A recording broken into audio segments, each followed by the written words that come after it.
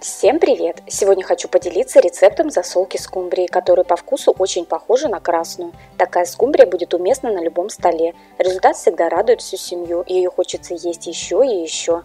Приготовим маринад. В кастрюльку наливаем 300 мл воды, доводим до кипения. Добавляем 2 столовые ложки без горки соли, половину чайной ложки сахара. Перец горошком, душистый молотый перец, кориандр, гвоздику, 2 столовые ложки растительного масла – Кипятим примерно одну минуту. Когда немножко остынет, добавляем 2,5 столовые ложки яблочного уксуса.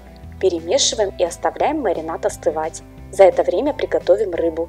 Скумбрию заранее размороженную чистим от внутренностей, удаляем голову, моем, обсушиваем и нарезаем на порционные кусочки.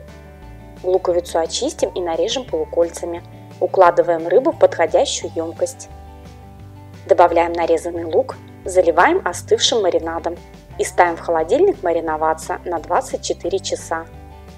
Готовую рыбку подаем к столу. Она получается очень нежная, слабосоленая, уж очень напоминает по вкусу красную рыбу. Это мой любимый посол скумбрии. Приготовьте и удивите себя и своих гостей.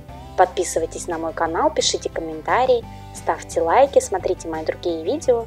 Желаю вам приятного аппетита и отличного настроения!